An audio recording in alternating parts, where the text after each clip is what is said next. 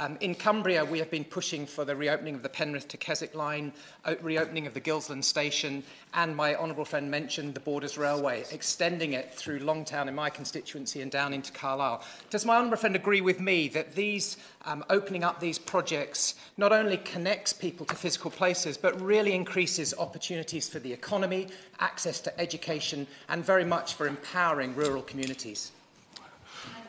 Well, I couldn't put it better myself, Mrs. Cummings. You know, transport systems aren't just about, you know, a sort of academic exercise of connecting point A to point B.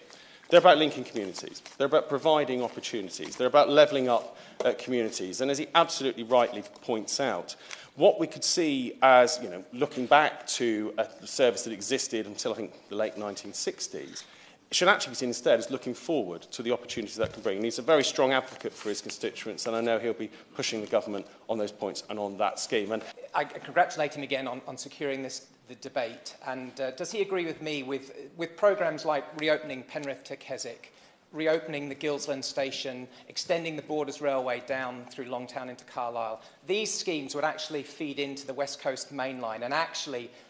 should the government actually have a two pronged approach, both restoring these links but also holding the West Coast mainland of anti West Coast to account for their unacceptable service? Yeah, yeah, yeah.